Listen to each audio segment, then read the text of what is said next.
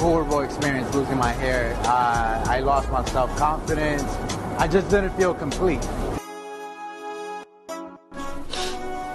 Good talk, man. It's, it's, it's awesome, man. It's awesome.